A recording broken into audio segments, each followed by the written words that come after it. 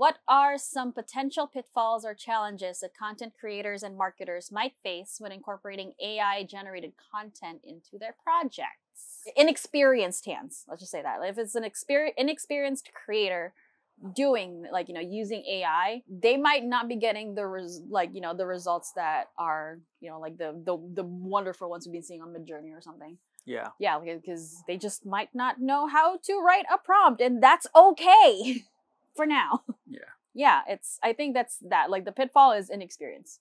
Like the the main like obvious like pitfall for me would be inex- inexperience on the part of the creator or the marketer or both. Yeah, I think it's a definite part. Yeah, definitely the inexperience because it's not as easy as just writing a sentence. You have to be very specific in your prompt. Definitely another thing would probably be citation of sources Mhm. Because anyone can.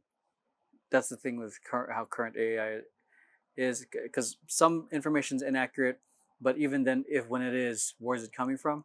I know there's a there was a whole thing of artists being against Midjourney uh, because their style is being taken, and then it would be nice when these, say for example, Midjourney, when it does pull from these styles, to cite have citations of art re- referenced from this person, this person, this person, this person. Because right, it would be nice for Midjourney to have that same thing to s Mhm. to where did it pull this artistic style from? Yeah, credit your artists. yeah so so that way because you know it, it it's already affecting a lot of artists Mhm. uh, there's a story i saw of an, a concept artist in and I, th- I think it's an indie game company he went from being an artist to just doing prompts and then Oh. cleaning up the prompt cleaning up and then and a also prompt engineer. yeah, and, and then cleaning up the art Yeah. so and which is not what someone who loves drawing and doing concept art would lo- want to do they want to go start from scratch they want to use their imagination They want to actually yeah. use their hands to do so that's like i mean I, was- digress like the main thing is like that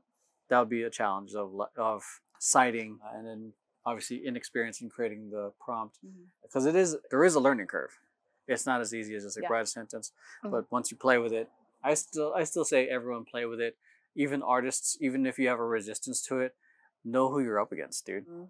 Obviously, I think it's very it would be very ethical for someone to disclose that this content that they put out was created partially or entirely with AI. Because again, in like especially in the climate that we are in right now, that like there's you know artists and like other creatives that are rallying against like AI generated content, anything AI generated, essentially that like involves art in Mhm. any form. Um, and I get it as a creative myself and like a friend to some very talented artists.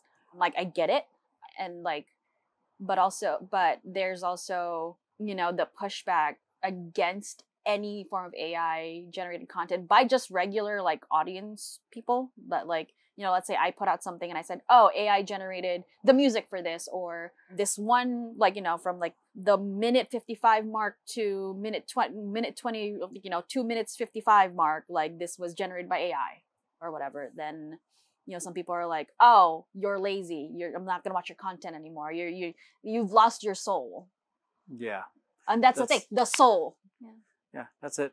So hopefully you guys found this episode, uh, this useful. If you guys got any questions and whatnot, comment down below wherever you guys are watching this. Uh, and if you guys are watching this on Spotify or whatnot, uh, or Apple Podcasts, give it a five star, give it a great review. Uh, we're doing all this for free, and hopefully you guys are, are enjoying it. And if you guys want to work with us or have a chat with us, feel free to book a meeting with me. All right, see you guys later. Bye. Bye.